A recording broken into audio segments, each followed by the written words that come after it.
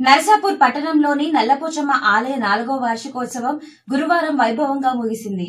ఈ సందర్భంగా ఉదయం ప్రత్యేక పూజలు చండీయాగం నిర్వహించారు. సాయంత్రం మహిళలు బోనాలతో ఊరేగింపుగా తరలివచ్చి అమ్మవారికి నైవేద్యాలు సమర్పించారు. డప్పుల మోత పోతరాజుల విన్యాసాలు శివశక్తుల పూనకాలు భజనలతో ఆలయ పరిసరాలు హోరెత్తాయి. స్థానిక ఎమ్మెల్యే చిలుముల మదన్ రెడ్డి అమ్మవారిని దర్శించుకొని ప్రత్యేక పూజలు నిర్వహించారు.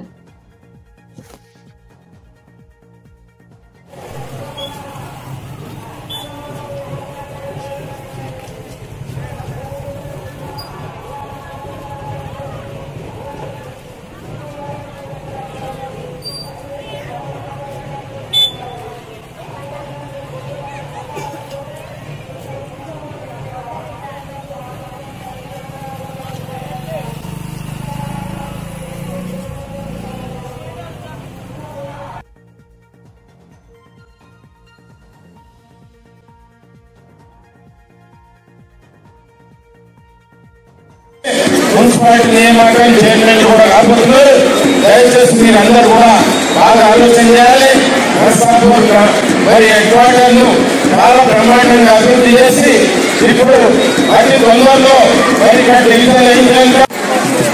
రాష్ట్రోత్సవం పెద్ద సంఖ్యలో నర్సాపూర్ భక్తులందరూ కూడా పాల్గొని విజయం విజయవంతం చేస్తున్నందుకు వారందరికీ హృదయపూర్వకంగా నేను అభినందన తెలుపుతున్నా నన్ను అన్నారావు గారు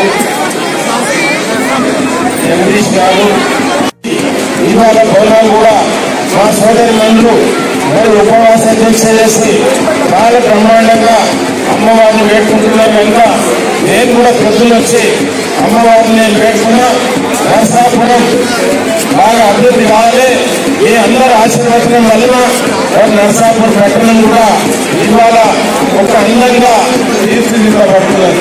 ఇవాళ ఫోర్ లైన్ కూడా నరసాపూర్ మనం కొత్త వచ్చిన గుర్తులు వాళ్ళని పరిస్థితులలో చాలా బ్రహ్మాండంగా నరసాపూర్ అభివృద్ధి అయింది భౌతికం కూడా అభివృద్ధి చేసుకుంటున్నాం ఇవాళ వాటర్ ట్యాంకులు కూడా చాలా బ్రహ్మాండంగా అభివృద్ధి చేస్తున్నాం.